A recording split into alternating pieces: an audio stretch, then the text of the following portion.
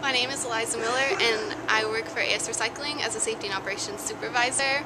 Our staff collects over 600,000 pounds of recycling a year on campus and 300,000 pounds of that is compost. Uh, my favorite part about my job is that I can help the community and help the campus through my work and I would like to encourage everyone on campus to reduce, reuse, and recycle.